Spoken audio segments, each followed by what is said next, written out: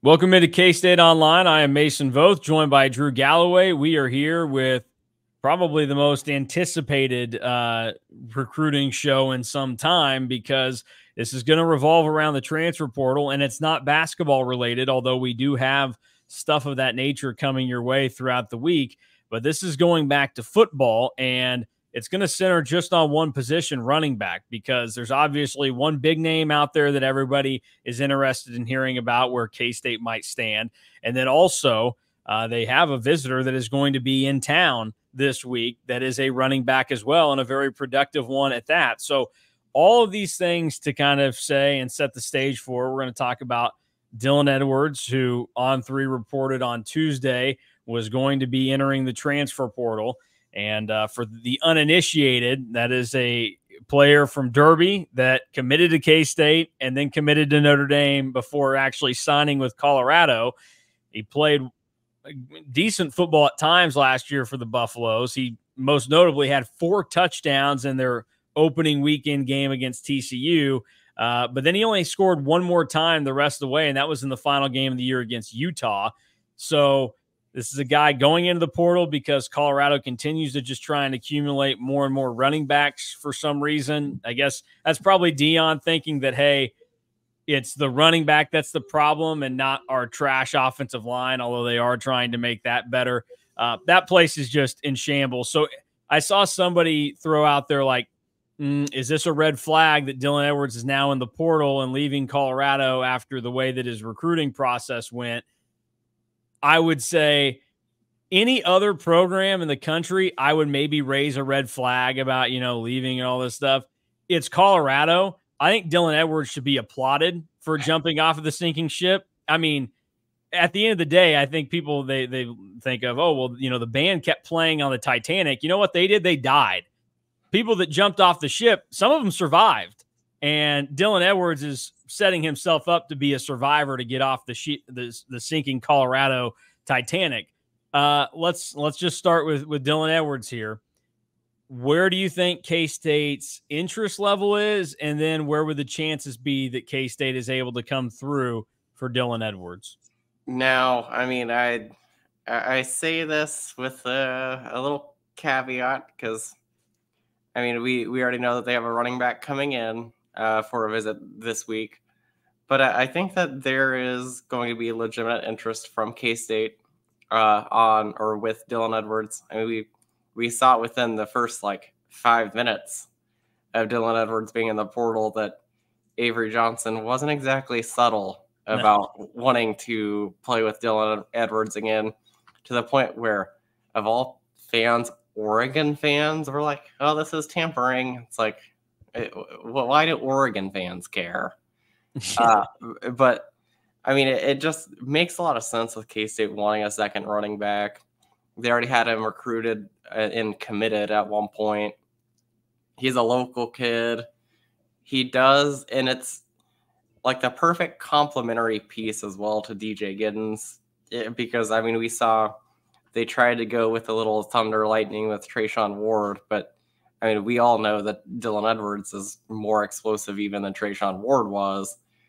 So I mean, it, it makes perfect sense from a fit standpoint, and I I know that he's a polarizing figure. I mean, I compared it to discussing a political candidate on on the board yesterday because of how extreme some of the takes were. That's fair. But from a strict talent standpoint, I, I think that he is probably everything that you would want from the second running back because there's going to be a lot of touches there, uh, especially because I, I think that they they don't want DJ Giddens to get worn down throughout the season by giving him 25, 30 carries a game. So there's plenty of opportunities there, like probably 15 touches a game uh, for the second running back. So I think that that's plenty. And I think that he would fill the role nicely. And uh, the thing that too with Colorado, like I, I saw that they've lost like 27 guys since last season to the transfer portal. Like they're just a mess. And the other thing, if you want to bring up his lack of production at Colorado in the run game, did, did, did you realize Colorado didn't run for a thousand yards as a team last season. I would not have guessed that. That's uh that's I guess not that shocking when you consider bad offensive line and uh Deion son is the quarterback. So DJ that, it adds up. DJ Giddens ran for more yards last season than all of Colorado.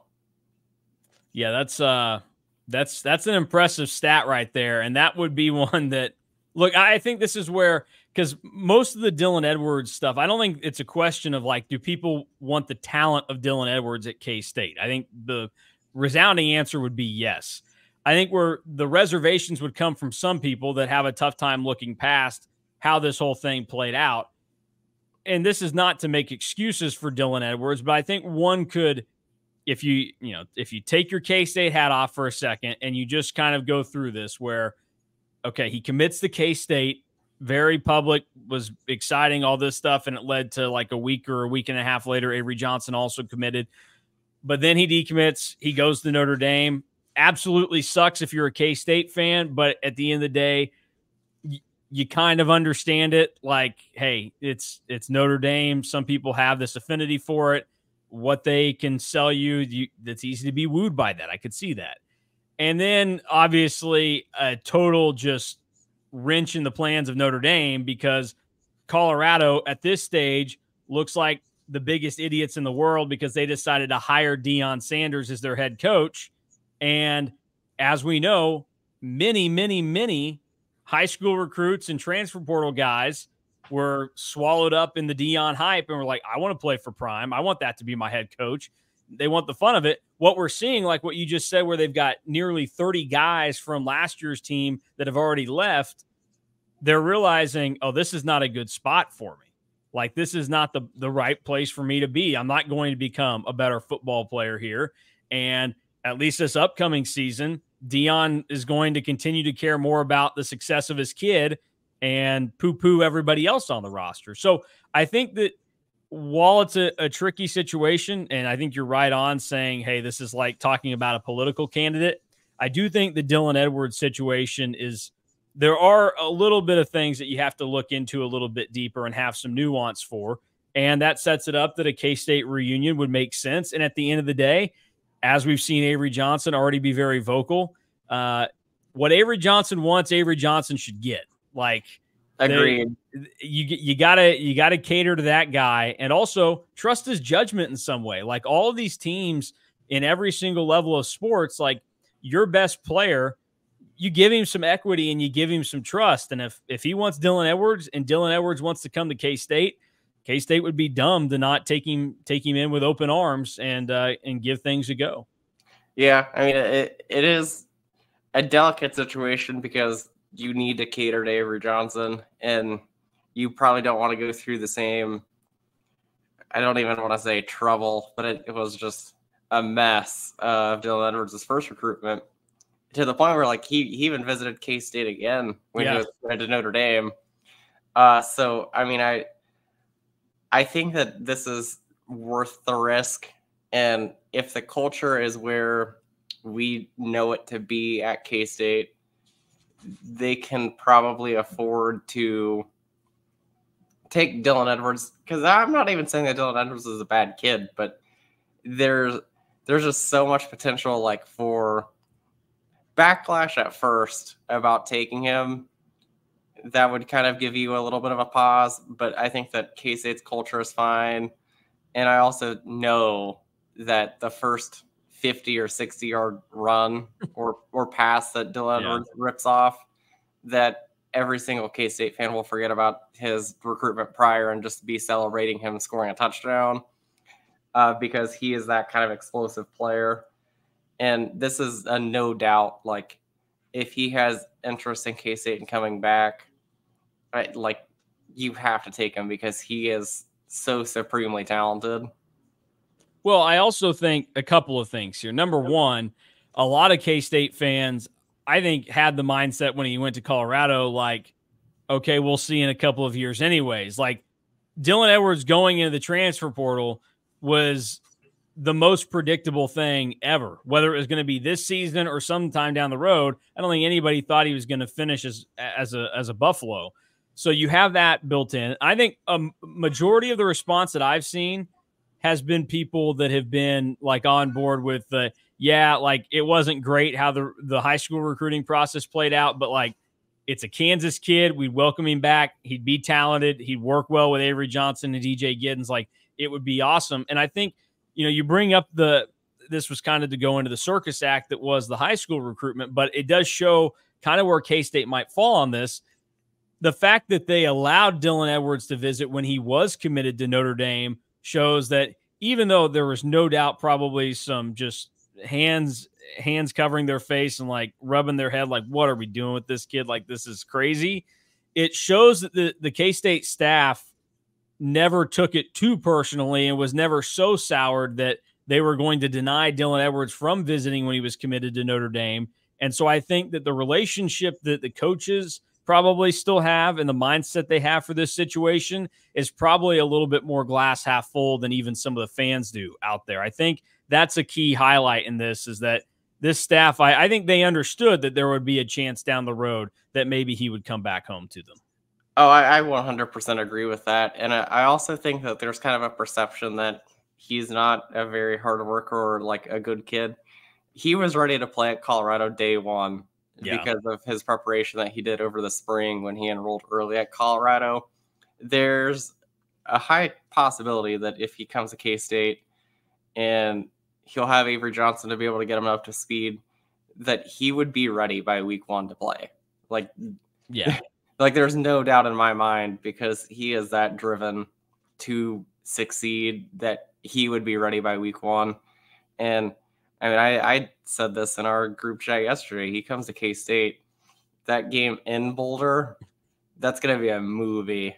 Yeah. Well, I, I, I think, I don't think anybody should question like the the work ethic of Dylan Edwards. I think calling him lazy would be like just the most drastic generalization of what you you're trying to to pair together a couple of different things like how the recruiting process played out. You're like well he likes the limelight so he doesn't work as hard for it. that's totally false. Like Dylan Edwards certainly to me comes across and I like I've seen him multiple years in high school covering him and then going into you know everything else.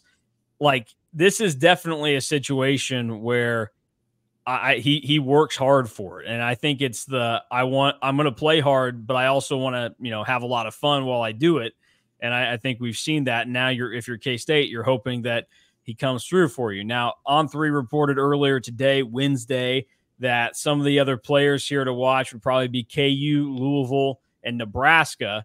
And the last time around, outside of Notre Dame coming in, Nebraska was a significant name that was floated out there, but uh, it's a different coaching staff now that's in that's in charge there. Um, so it'll be interesting to see. But uh, all of those are obviously going to be in play. But at the end of the day, if you think if all four of these schools go all the way in, 100% working to get Dylan Edwards, who's the winner in that recruitment? I sort of have a hard time thinking that he doesn't end up at K State at this point. I, I just think that it's the perfect storm of kind of everything coming together at once here. K State needs a second running back. Avery Johnson's the starting quarterback. You have K State, you have Avery Johnson like straight up without saying it, saying that he wants Avery Johnson to come to K State or, or, that he wants Dylan Edwards to come to K State. So I, I, just think that it's a perfect storm. And I just think that K State makes more sense than a lot of those other schools. Like I, I know that Nebraska was in on him hard in high school, but I like I, I just don't really see the appeal there. KU is the same role as K State, where he'd be behind Devin Neal but then he doesn't have one of his uh, teammates and friends from childhood as the quarterback. And I would say on on that real quick too, like it's not just Devin Neal that is there, but Lance Leipold likes to use his running backs. Yes, uh, almost to the point of like I'm not questioning Lance Leipold. He's been successful, so obviously he knows better than me. But he does seem to have an affinity for whatever reason for Daniel Hishaw as well. And so like that's another guy that's going to get touches and and I think also the versatility that K State's offense would have for Dylan Edwards is significant because yeah. we know that they'll find ways to get him involved in the run game and the passing game, but like they could line him up out wide theoretically a couple of times or put him in the slot. And we already know that K State is starting to feel better and better about what's going on there. Like this would be a really elite move for this offense. It just adds another weapon, and and this kind of goes into like if you give yourself well, I, I, like any game that you play, it's like if you get one chance to throw the ball into the hole, then okay. But the guy's going to come along and buy five chances. He's got a better chance of doing it than you. Yeah, I mean, for K State, that's what the offense would be. You add another ball, and you have a chance to put it in the hole better. The ability to put him in the slot and have DJ Giddens at running back with Avery Johnson as a quarterback poses a lot of problems for defenses. I I would think. So I mean, it, it's somebody. That's why, like, no matter what, I I think that if he has interest in K State, you have to seriously consider it because he is a home run threat every single time he touches the ball. All right. Well, that is that's what's going on with the Dylan Edwards situation. Obviously, there's going to be uh, plenty of time for this thing to play out over the next couple of days. One that there's less time to kind of wait and play out is Devon Booth, uh, running back from Utah State. He led the Aggies in rushing in 2023, over 800 yards, uh, almost as much as Colorado had as a team last season. Scored six times on the ground as well. Uh, this was a, a, visitor that you uncovered uncovered yesterday, Drew. Uh, what can you tell us about Devon Booth? Uh, so, like you said, he led Utah State in rushing a year ago. Was actually a JUCO All American before uh, going to Utah State. Has some really nice production. I mean, at 800 yards is nothing to sneeze about in the Mountain West, and had some pretty good games against quality competition. He ran for 103 yards on James Madison, who was top five in rushing defense a year ago. Had 100 yards against Boise. I, I think that he would be a he'd also be a great RB two in a, in the perfect situation again because he kind of brings that extra element, averaging over six yards a carry because he was a uh, fourth at Utah State in yards per carry in a season last year. So th- this is one of the best running backs on the transfer portal, along with Dylan Edwards. I think that is available right now, and his visit begins Thursday. and I think that you'll kind of see where K State is at with Dylan Edwards, depending on what happens with Devon Booth, because it, it's I, I, just don't see a scenario where you can get both. So it's probably one or the other, and I'm really interested to see how this plays out because it's not like Booth has or it isn't like or he doesn't have like a ton of options either. Because I, I know that he has a lot of options right now and schools coming after him so I'm interested to see how it all plays out because I, know that the polarizing figure of Dylan Edwards being out there. What what is what is your call here on who you would rather have?